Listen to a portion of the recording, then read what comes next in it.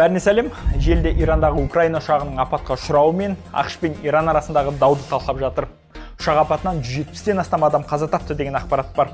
Енді көбі мұхтар тайжанға ұқсап ұшақ апатынан қаза тапқандардың отбасыларына көңіл айтыпты. Міне алтынбек құмырзақұлы да әлемде не болып жатыр өзі? Әйтеуір бейбіт заман болсын деп тілеп отыр екен. Ал ардақ тұрысбай украина ұшағына қанған оқ тиді ме? Әлде өзі құлады ма? деген сұрақ қояды.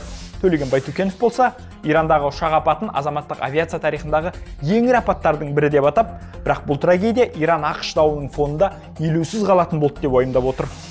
Дәл сол уақытта шолпан есмұхамбетова қазақстаннан иран арқылы ұшатын рейстер таяу шығыстағы жағдайға байланысты маршрутын ауыстырып жатыр деген ақпарат таратты.